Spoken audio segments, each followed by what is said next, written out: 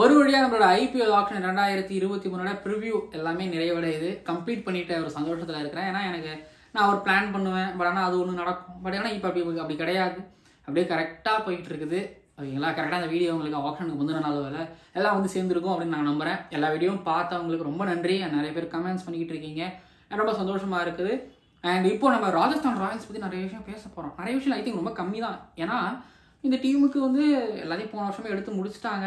இந்த வருஷம் ஆப்ஷன் நம்ம அந்த அளவுக்கு ரொம்ப புகழ்ந்து புகழ்ந்து புகழ்ந்து புகழ்ந்து நம்ம வந்து புழைந்தியே ஆகிட்டோம். அந்தளவுக்கு புகழ்ந்து தள்ளணும் ஸோ இப்போது ராஜஸ்தான் ராயல்ஸுக்கு என்ன தேவை? ராஜஸ்தான் ராயல்ஸ் டீமில் யாரை எடுப்பாங்க? அப்படின்னு நம்ம பேசும்பொழுது பேசலாம். ஜெனில் லேடிஸ் அண்ட் ஜெனில்மேன் இது ஐபிஎல் ஆப்ஷன் இரண்டாயிரத்தி இருபத்தி மூணு ஸ்பெஷல் கிரிக் ஆனந்தா ஷோவில் ராஜஸ்தான் ராயல்ஸ் டீமோட ஒரு ப்ரிவியூவுக்கு உங்களை வரவேற்கின்றேன். அண்ட் அதை கமெண்ட்ஸ் பண்ணிட்டு இருக்கீங்களா? உங்களுக்கு ரொம்ப நன்றி. அண்ட் அதே போல் டாக்கா வீலாக்ஸ் நான் டாக்காவில் இருக்கிறேன். அப்புறம் டாக்கால இருந்து உங்களுக்கு நான் வீலாக் பண்ணி உங்களுக்கு எப்படி டெய்லியும் கொடுத்துக்கிட்டு இருப்பேன். டெய்லியும் பாருங்கள் ஏன்னா உங்களுக்கு அதில் கண்டிப்பாக நிறைய கிரிக்கெட்டிங் நாலேஜ் விஷயங்கள்லாம் கிடைக்குங்க கண்டிப்பாக வெறும் நான் சாப்பிட்றது பேசுறது தூங்க அதெல்லாம் இல்லை. நிறைய விஷயம் உங்களுக்கு கிடைக்கும். நிறைய விஷயம் அதில் நான் ஷேர் பண்ணிப்பேன். பேசலாம் ஹிஸ்ட்ரி பேசுவேன் ஜியாகிரஃபி பேசுவேன். கிளாஸ்லாம் எடுக்க மாட்டேன் பட் ரொம்ப இன்ட்ரெஸ்டிங்காக இருக்கும். நானே சொல்கிறேன் பாருங்கள் அண்ட் இப்போ நம்ம ராஜஸ்தான் ராயல்ஸ் பற்றி நம்ம பார்க்கலாம். ராஜஸ்தான் ராயல்ஸ் பொறுத்த வரைக்கும் அவங்க போன வருஷம் எடுத்ததில் ஜிமினேஷன் டேரல் மிஷில் ரெண்டு பற்றியும் அவங்க ஷே அவங்க ரிலீஸ் பண்ணிட்டாங்க. ஏன்னா ரொம்ப ஆச்சரியம். போன தடவை ஜிமினேஷமே அவங்க பெருசாக யூஸ் பண்ணலை. ஜிமினேஷமே யூஸ் பண்ண ரெண்டு மேட்ச்லையும் அவர் பெருசாக பர்ஃபார்மன்ஸ் பண்ணலை. அவர் ஒரு ட்வீட் ஒன்று போட்டார். அதனால் ஓகே மேனேஜ்மெண்ட்டுக்கு ஒரு என்ன பிரச்சனையா? அப்படிலாம் இது வரைக்கும் பெருசாக கசியில. ஏன்னா ஒரு இந்தியன் பிளேயர் ஒருத்தர் பண்ணியிருந்தாருன்னு வச்சுங்களேன் அது குபீர்னு பரவி இருந்திருக்கும். ஆனால் பண்ண ஜிமினேஷன் தானே. யூஸ்வலாக அதை பண்ணுறவர் தானே அப்படிங்கிறதால அதை டாஸ் வாங்கி போயிட்டாங்க. ஒரு நியூசிலாண்டு இருக்கிறதுனால எந்த விதமான பிரச்சனை பிரச்சனையும் ஆகலை. ஆனால் ஒன்னையோடு நடந்துச்சு அவரை வந்து ரிலீஸ் பண்ணிட்டாங்க. டேரல் மிச்சிலையும் இப்போ ரிலீஸ் பண்ணியிருக்காங்க ஏன்னா அவங்களாம் டேரல் மிச்சிலையும் ஜிமினேஷனுமே அவங்க பெருசாக யூஸ் பண்ணல. அவர் சஞ்சீவ் சாம்சன் மேபி அவங்களோட பிளான் வேறையாக கூட இருக்கலாம்.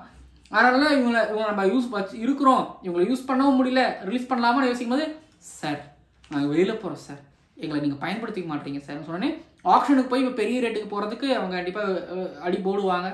இவங்க என்ன அடி போடுறது? மற்றவங்க எடுக்கணும் அப்படிங்கிறது ஒன்று இருக்குது. பட் டேரல் மிச்சல் ஜிமினேஷன் அவங்க ரிலீஸ் பண்ணதுனால இவங்க ஓரளவு ஒரு நல்ல ஒரு காசு இவங்க கையில் இப்போ இருக்குது கருண் நாயரே ரிலீஸ் பண்ணிட்டாங்க. இன்னொரு முக்கியமான விஷயம் என்னன்னா ராஜி வெரண்டசனை அவங்க ரிலீஸ் பண்ணியிருக்காங்க இதுக்கு முன்னாடி ராஜி வெரண்டசனை வந்து அவங்க ஐ திங்க் இடையில ஒரு பிளேயருக்கு இன்ஜுரினால உள்ள வந்தாருன்னு நினைக்கிறேன். வந்தது ராஜி ராஜிவர்தனே அவங்க பெருசாக யூஸ் பண்ணல. ரெண்டு மேட்ச் வந்தாரு. ரெண்டு மேட்ச்லையுமே வந்து பார்த்தீங்கன்னா பெருசாக பெர்ஃபார்மன்ஸ் பண்ணல. அதாங்க ஜிமினேஷன் ராஜி வெரண்டசன் இவங்கெல்லாம் டேரல் மிச்சல் ஐ திங்க் இந்த ரெண்டு பேர் வந்து பார்த்தீங்கன்னா சரியான நேரத்தில் பர்ஃபார்மன்ஸ் பண்ணலை அப்படிங்கிறதுமே தெரிய தெரிய வருது. ஸோ இப்போ அவங்களுக்கு அந்த ஓவர்ஸ் ஸ்லாட்ஸ் வந்து பார்த்தீங்கன்னா நாலு இருக்குது. கையில் பதிமூணு புள்ளி ரெண்டு கோடி தான் இருக்குது. ஐ திங்க் செகண்ட் லோவஸ்ட் ஆர்சிபிக்கு அப்புறம் கேகேஆருக்கு அப்புறம் வந்து பார்த்தீங்கன்னா லோவஸ்ட்டு ஒரு காசு இவங்க கையில் தான் இவங்க தான் இருந்துகிட்டு இருக்கு. பட் இவங்களுக்கு என்ன தேவை அப்படின்னு பார்த்தீங்கன்னா பேக்கப்ஸ் வழக்கமாக அப்படி சொல்லி நான் சமாளிக்க தே விரும்பலை.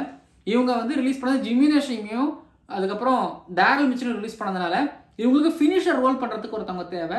ப்ளஸ் ராசி பெண்டர்சன் ஒரு மிடில் ஆர்டர் பேட்டர் ஆல்ரெடி இருக்கிறாங்க அவங்க கிட்ட போன தடவை தேவ்தத் படிக்கல அந்த மிடில் ஆர்டரில் நல்லா பண்ணார். இல்லைங்களா? ஜெய்ஸ் பால்டர் வச்சிருக்காங்க. லெஃப்ட் ஹேண்டர்ஸ் எக்கச்சக்கமான பேரும் ப்ளஸ் ஓப்பனர்ஸ் நிறைய பேர் இருக்காங்க.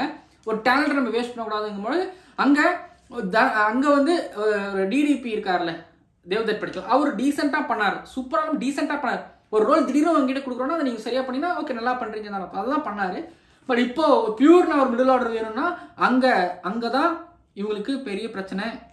ஏன்னா கையில் பதிமூணு புள்ளி ரெண்டு கோடி இருக்குது ஒரு ஃபினிஷரையும் அவங்க தேடிக்கிட்டு இருக்கிறாங்க. அண்ட் அப்படி தேடும்போது ஓபேத் மக்காய் ஒரு கொண்டு வருவாங்களா? ஹெட்மேரோட ஃபெலோ ஒரு கிரிக்கெட்டர் அப்படிங்கும்பொழுது ஒரு ஓரியன் ஸ்மித் வருவாரா? இவங்க சாம்பரன் ஸ்டோக்ஸ்லாம் அவங்க போக மாட்டாங்க. ஏன்னா இவங்களுக்கு அந்தளவுக்கு காசும் கிடையாதுன்னு ஒன்று இருக்குதுல்ல. ஸோ அதனால் நாங்கள் சஜஸ்ட் பண்ணுறது ஓரியன் ஸ்மித் அப்படின்னு நான் சஜஸ்ட் பண்ணுறேன் கீழே வந்து பார்த்தீங்கன்னா பேக்கப் தேவை இவங்களுக்கு ஏன்னா ஓபேன் மெக்காய் இருக்கிறாரு சில நேரம் சொதப்பப்படுத்த தேவை இல்லைன்னா அவங்களுக்கு தேவை அந்த ஆல்ரவுண்டர் பொசிஷன் எடுத்தாங்க கீழே வந்து அரசு தேவையில்லை யுஸ்வேந்திர சகல் அஸ்வின் அப்புறம் குல்தீப் சென்னோ இல்லை குல்தீப் சென் கண்டிப்பாக பேக்கப்பாக பிரசித் கிருஷ்ணா இங்கே இருப்பார். ஓபெத் மெக்காய் இருப்பார்.